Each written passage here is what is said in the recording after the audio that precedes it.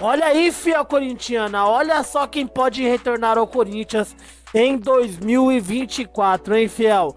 Acompanha comigo, dá só uma olhada, mas antes, deixa o like para fortalecer o canal. Se for novo por aqui, clica no botão aí embaixo e se inscreva. Canal Alerta Corinthians é tudo sobre o Timão. E bora pro vídeo, fiel corintiana. É, Fia Corintiana, o Corinthians já está preparando uma grande reformulação no elenco. Vários jogadores já estão de saída, vão ser, vão ser dispensados, né? Pelo Corinthians. Mano Menezes já deu aval para a diretoria. Mas um jogador que pode retornar ao Corinthians é o zagueiro jovem Robert Renan, fia, que foi revelado nas categorias de base do Corinthians. O Robert Renan pode voltar ao Corinthians por empréstimo de um ano, fiel.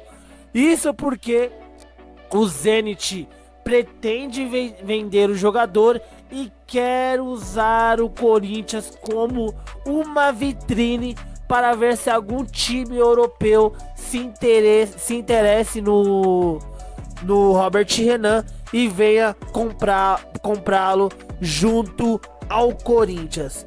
E o Robert Renan, que é corintiano, tem 20 anos, né? Quando ele foi envolvido na, na troca do, com o Zenit com o Yuri Alberto, né?